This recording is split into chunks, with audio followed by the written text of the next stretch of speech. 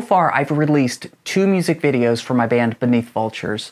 The first one was Blood and Water. Uh, that is a song that I really wanted to start out with as sort of a, a good mid-tempo, uh, middle ground song to, to sort of set the tone of the band. And the music video was a great chance for me to play a little bit with camera techniques and lighting and just kind of get used to the idea of what it's going to be like to self-produce at a, at a greater level than what I've been doing on my channel so far. The next song, Cocoon, was something that, again, self-produced, but I spent a lot more time mapping it out, uh, working on special effects, makeup, um, getting a lot more of a theatrical feel. And I think to some extent I achieved that, and I wanted to, to walk you through the process of creating that video, the special effects I used, camera techniques, lighting techniques, in assuming that this is something that you might be interested in doing if you're looking to film something more theatric than just, you know, sitting here with your instrument playing. Okay, so there is a lot to cover here. Uh, this is a video that was made at my house. I had to make decisions on lighting, practical effects, uh, you know, how the, the video is going to translate the music. So all these things have to come together to give something that's visually appealing and sort of cohesive. So I'm going to run and gun this as fast as I can, but there's a lot to cover here and it might be a little drawn out. If you can just stick with me, I think uh, it'll be a lot of fun.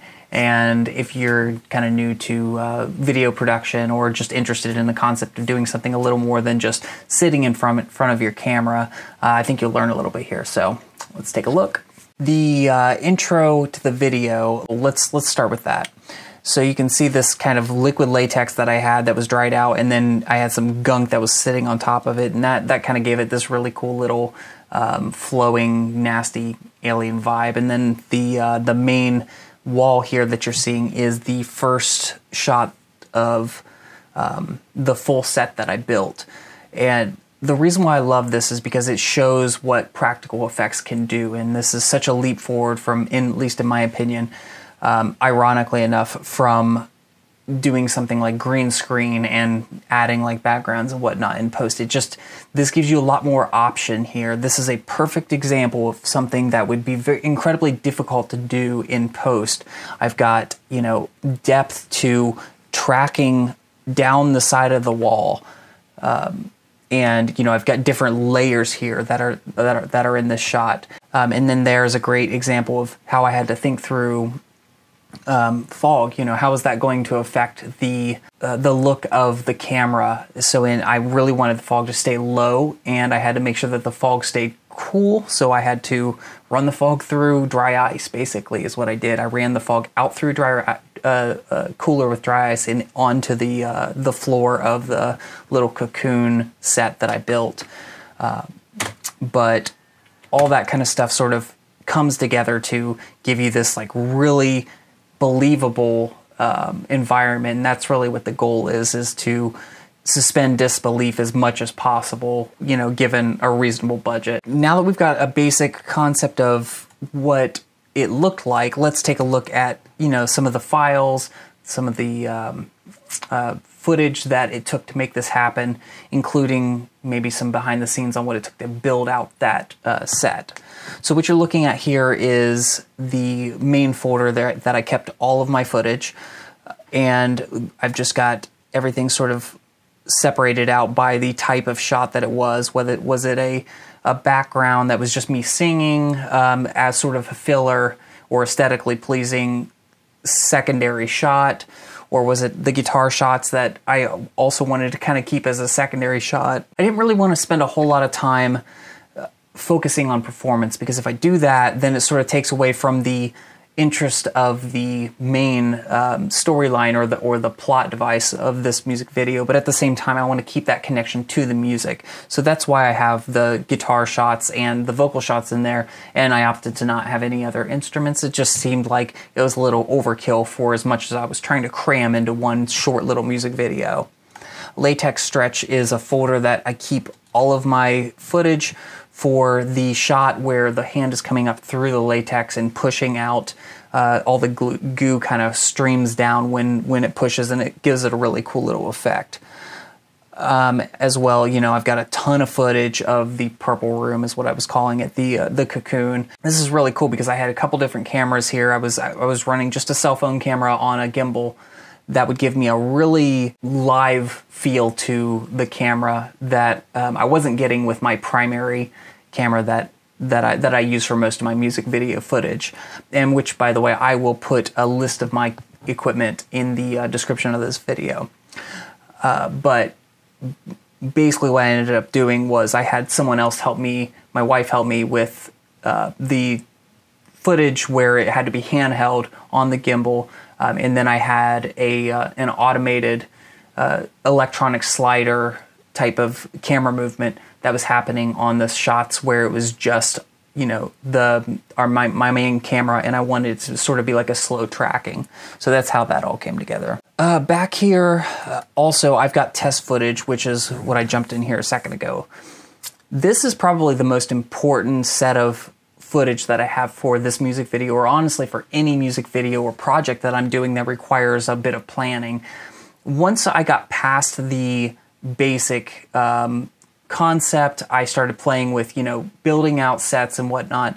I wanted to spend some time um, really dialing in the, the tone of the shots and the coloring and the look and feel. As you can kind of see here in this preview, I had started out, this is all sequential. I started out with the green look and I was kind of getting an idea what that would look like. Uh, we can even just click in here real quick. So this is just me sitting down, just trying to get a feel of what it would look like if I was if I was in front of a green. Yeah, I know orange wearing shorts. Shut up.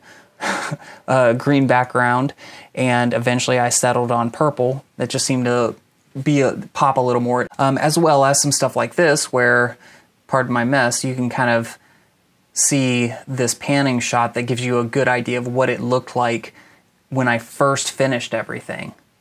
So you can see the uh, you know the depth of the the shot, but also some of the surrounding stuff that you know that that was around the set and how that all came together. If that makes any sense, kind of. Um, and I took some pictures just so I could see what skin color would look like up against this. So I really felt out the vibe of every angle or every type of shot that I wanted to get. Um, and I even went as far as digging into some of the um, uh, gimbal shots and stuff early, and you'll notice that that becomes important uh, when I show you this next shot because you will start to see um, the potential for the camera going over the background and catching some of the the background of the you know the garage that we were filming in and that can really ruin a great shot. Let's jump over here. So what you're looking at now is the first wall that I was building.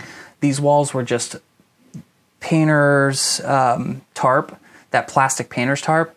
Then I spread liquid latex over top of it. Liquid latex is a uh, I, I, love that material and it seems to be a common theme in this video. So I spread that over top of it along with a little bit of paint and then I peeled holes into the liquid latex to give it sort of like that alien cocoon vibe, whatever, you know. You have to kind of use your imagination here. Um, and when I did that, I kind of left the plastic as it was so I could have that kind of hazed over look on top of that. So let's quickly jump into this. And this is a great shot because you can kind of see what it took to put this all together. And I know this is super fast, but we're probably talking about a week's worth of work after everything was said and done to get these walls up. Probably even more than that now I think about it. I had two primary sheets that I created.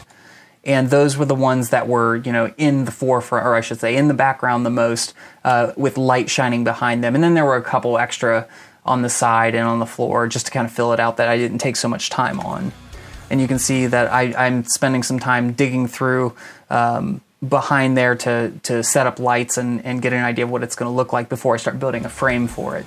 And then I built a PVC frame that I had uh, arched to give it that dome shape, that circular shape that gives you a um, that sort of claustrophobic vibe, but still gives you a lot of space to work in. And that was all very, very difficult to, to attach and keep attached and whatnot. Eventually, I, let me back up here, I opted to uh, add some stuff on the front of this and I ended I, I tried to make it a little, bit Giger-esque where it had a lot of uh, you know lines and separation uh, to to give it some dimension, and that did work out pretty well actually, a little better than I thought it was going to. So here um, you can see that I'm spending, or I'm just kind of trying to tear through uh, making the the sides and the floor as fast as possible because I already spent like a week at that point. I think uh, building the first two walls, putting that all up, putting backdrops behind it so I didn't get light bleed, and then you know this shot shows what it looks like um, with some different colors. Uh, then the fog was a huge part of this. I wanted to make sure that you know it was it was present, but it wasn't in your face. So I had to run it through dry ice. It kind of kept it low to the ground until it started to heat up, and then it would you know I'd have to air out and start the whole process again. So all those things you have to really think through because on day of shoot, when you go to use something like fog, you realize that oh, it's now you know overtaking my shot and everything looks hazy, and then a lot of a lot of times your footage is junk. This is a great shot here. I was really happy with this. Is the first shot that I think I was I really saw it come together. So um, I just what I did was I I set up the camera, set up the lighting, the fog exactly how I was hoping it would come together, and I just kind of sat there and and checked out what the skin tones would look like. Um, the you know the brightness of the shot what needed to be adjusted i did make a few other adjustments after that but this gave me a good um, clear indication of you know kind of what what I would be expecting. Um, and then this is a, a, gimbal shot where I just had a phone on a gimbal, and you can definitely tell the the colors are a little more harsh. The um, the focus is a little different. I'm not quite as happy with the coloring on this shot and the just the movement, but it, it was effective, and I don't really think that it, it took away too much from the look of the video. It's got a bit of a fisheye look to it more so than my uh, my traditional camera, video camera that I use for everything, but it still works. A lot of things I want to point out here. If you look here, you can kind of see some of the material that I use to make these, the, the shininess. It takes you out of the moment of the, the video. So I spent a lot of time on camera angles and to try to minimize the amount of that kind of stuff that you see because even though you know it's lower budget and, and you don't expect it to be perfect you still want to have you that suspension of disbelief. You don't want to give someone you know this this amazing environment and have something completely unnecessary uh, sticking out at them that f- makes them realize oh i'm watching this you know home created music video or whatever. Um, so this is another great shot and a great example of why it's so important. So if you look up here, these are the types of things you have to look for when you are vetting out your shots. You have to make sure that you know what your boundaries are that you're shooting so you don't have to come in here and post and, and zoom in right on the edge so you can cut that out and then you end up losing quality it just becomes a big mess. You try to avoid that as much as possible. By the way, this video that we're looking at right now will be up on my social media account if it is not already. Um, so you can kind of see this. It's just a quick little two minute or so video that, that gives you a nice little overview of how all this kind of stuff came together. That's my wife. Uh, she's helping do all the shooting and, and whatnot on the uh, handheld shots, like I said. So you'll notice here i am spending some time with some automated lights and yeah, I you know I did just have to kind of just go buy all this stuff. I I realized that I'm not going to have a team of people. I decided I was just going to go for it, and I and I bought lighting and I got MIDI um, to DMX connections, and I actually had things programmed to operate at a particular time in the song, and that's a whole nother discussion for another video, but that's the kind of stuff that sometimes you have to do if you're working on a small team or a one-man team and you want, you know, that next level of production in your in your video. These shots, um, this was a little earlier actually. This is a little out of sequence. I think I did one of these first. I was trying to get an idea of what some of the vocal shots and to fill out the fill out the video. Um, a lot of this was just seeing what looked cheesy, what looked good, what looked too similar to the last music video that I did, which was, you know, I would is definitely a step back as as far as uh, production value, but it was a good starting point. But there's a lot of this that I was noticing looked very similar to that last video since it was in a similar environment and I was trying to stay away from that. This is a great little shot right here because you can see what one light can do. You know, just one single light change. Now I've, I've got two different dimensions. Whether you like those dimensions or not, that's you know that's up for debate. But it just gives you a, an idea of you know the the different uh, tones you can get with just a simple black background and lighting. And that's that's why that kind of stuff is really exciting. You spend a lot of time playing with it. This is another great example. Kill the lights on the front, and then suddenly you've got a really moody look. You know that that sort of sets a completely different tone, even though it's the same set, same camera angle, everything. I also had the camera on a slider that I was telling you about earlier, and that was turned out to be more trouble than it was worth because I ended up having to chase basically the camera uh, as I was performing uh, because you know every now and then it would get a little too far over and you would see the light uh, the light bulb on the on the one far end, and I ended up having to basically trash a lot of that footage. So again, it's things that you have to think through and hopefully get it right. And if you don't, you sometimes have to reshoot, and I've had to do that. This is a cool little shot of the when I let when I did let the fog rise purposely for these particular shots. Um, what what they were doing to the the lighting in the background, the moving lighting, and this hello. um, gotta love still shots, right? So this is the result of that. So after add, adding all that fog, um, being very careful with how much fog and where the fog was was a hard part of this.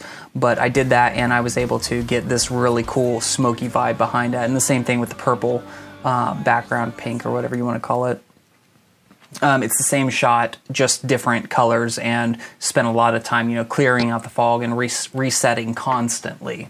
And this is where we start getting into the main uh, cocoon set. And there was tons. You see, I've got just some work lights there. I do have, you know, a lot of um, a lot of set lights that that are purpose built for um, videography and photography. Uh, but you know, you, I needed some fill lights, and those uh, about I about used every light I had in the house.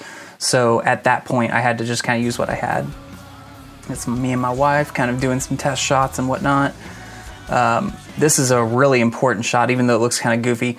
Uh, we're, we're framing everything out in, you know, in the moment of recording. We're, we're saying, hey, you know, this is working, this is not working.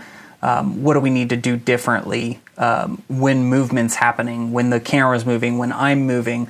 Uh, so those types of shots, even though you can prep for them a lot, you still have to be a little flexible at the time of shooting. All right, I guess I'll just focus on this for a second. Nothing beats the Roland, the mortgage payment for a Roland drum set. Oh, YouTube. Love you. and that's me falling. so you know, this is take this just takes a lot of coordination if you've got multiple people working with you, and then eventually you get shots like that. If we go back here and take a look at uh, this, this is you know in my one of my more favorite shots of obviously we just get a little tiny clip of it, but you you can see the camera rising with the with the fog and the pulsing lights. Everything is sort of like timed in a in a way that keeps you sort of you know engrossed in that scene and it makes it makes every little element makes it a little more believable. I know that this is a lot of really long-winded um, explanations but i don't really know how else to get this across without giving you an idea of what it took to make something like this happen and that just takes a lot of detail. Quick little recap that i had but it did not have any clips of the latex stretch stuff. So let me pull that out here. This was really fun, but it was very difficult to. This is one that I really wish I had another person here when I was doing it.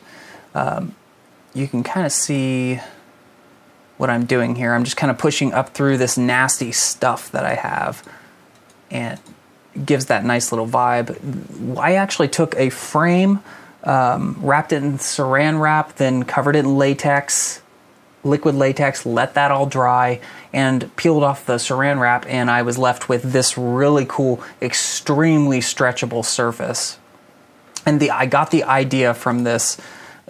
If you've ever seen Nightmare on Elm Street, you've seen this push through. I know that they did it a lot more low tech than I did actually. I think they used a sheet and pushed through it. So that's that's how that all came together.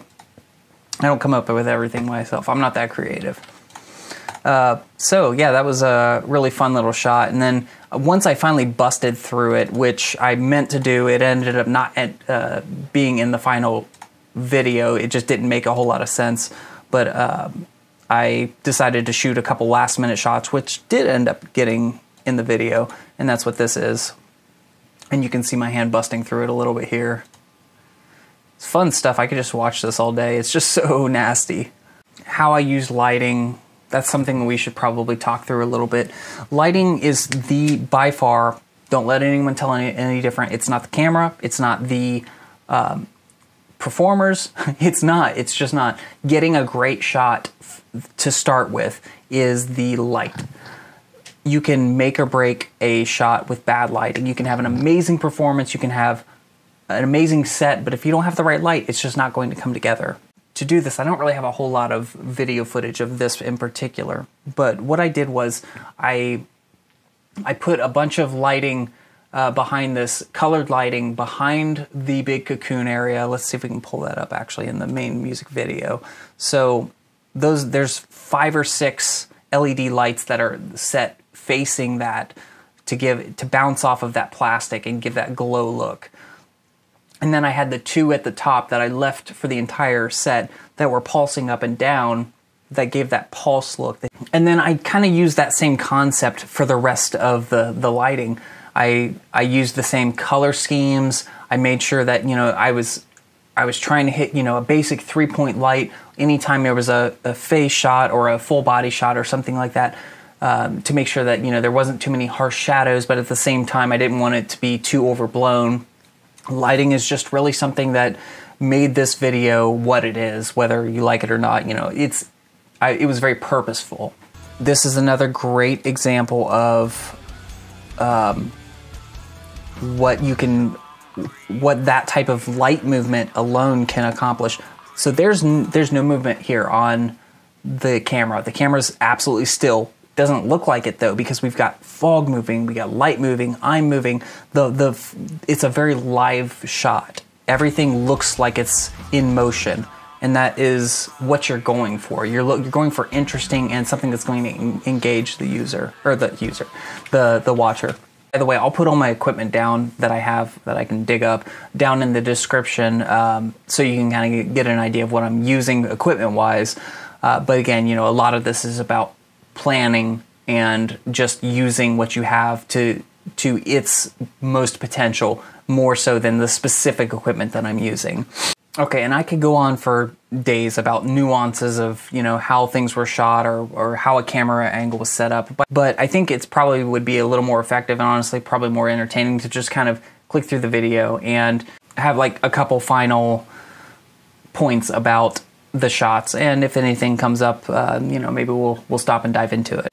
Okay, so I'm gonna stop it. I know I got about one second in, but so this shot here is I really like this shot because I've got a piece of that um, that background that I have, the cocoon stuff, and I put it in front of the camera, and I've got my electronic slider that basically is moving in and out um, really close to it to give that nice depth to look like we're kind of looking through one of the walls.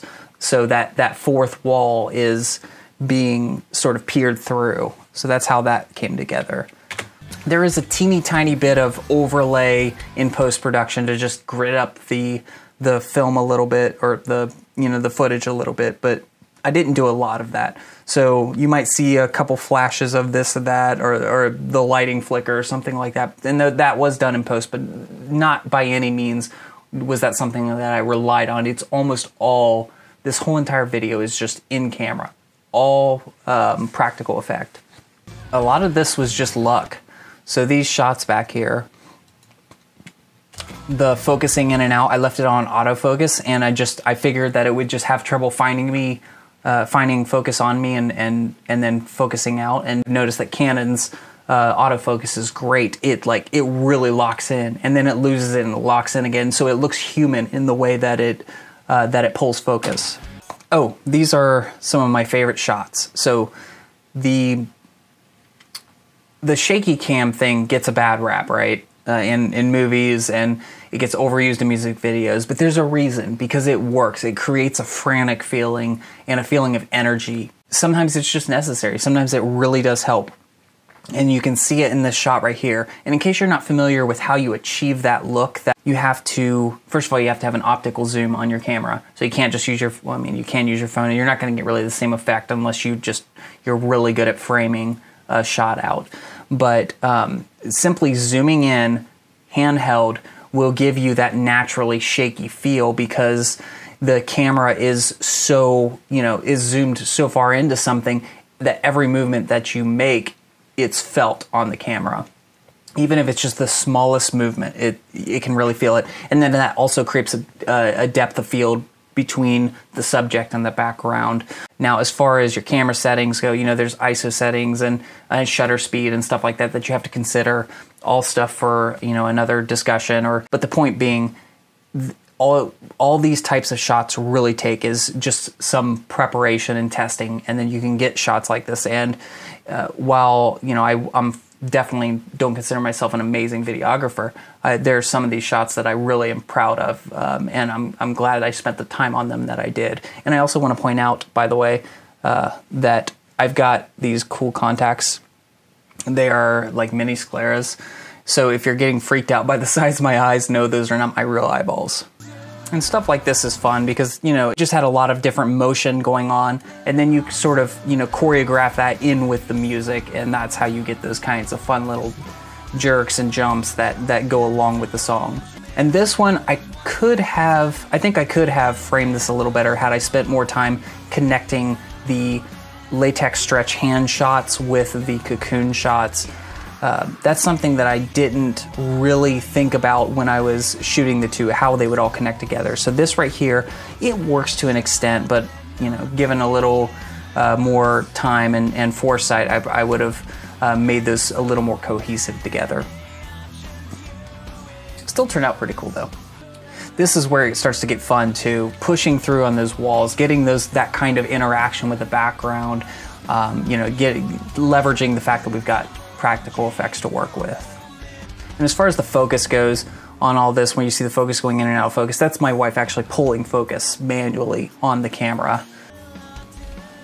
Okay, for some reason, for some reason that's like my favorite guitar shot of the entire video. I don't know why. It's just that little slide that's super fun. But I think that wraps this up. So and we could go down all sorts of rabbit holes with, you know, the technical aspects of how how my cameras are set up or what you know what specific settings I'm using, what lighting I'm using, framing of my shots. Uh, but I really wanted to just kind of give an overview of what it takes to to storyboard out and just you know kind of push something from concept all the way to production on this. And hopefully i gave you some kind of idea of what that was even if you know maybe i'm not answering every single question you have. But if you do have some questions uh, feel free to leave them in the comments below. I love talking about this stuff uh, I'm happy to answer any questions through messages, however you want to. So uh, until the next video, guys, thank you again for watching and see you next time.